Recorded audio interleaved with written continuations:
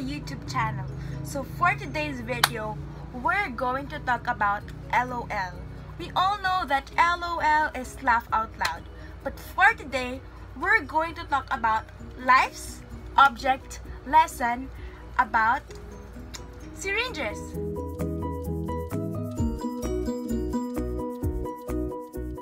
Syringes were used to inject insulin in 1922, made of glass with steel needles.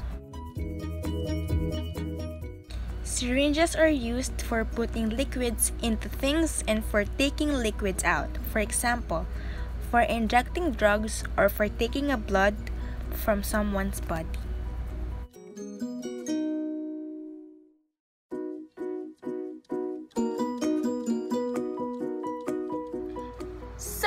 That we know the facts about syringes or needles, let us now put it into the biblical side.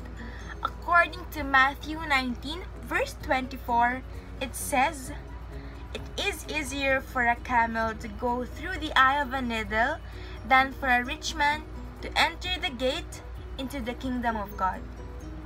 It is said that the saying was a response to a young rich man who had asked Jesus for what he needed to do in order to inherit the eternal life.